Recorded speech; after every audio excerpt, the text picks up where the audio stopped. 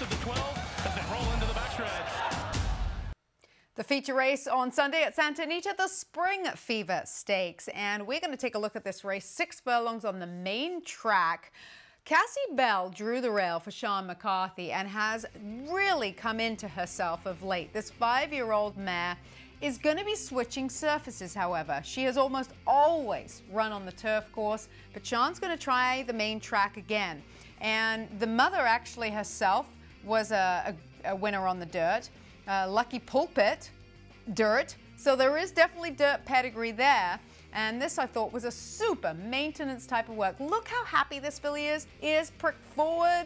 She's just bouncing over the track. Super work from Cassie Bell to try something new.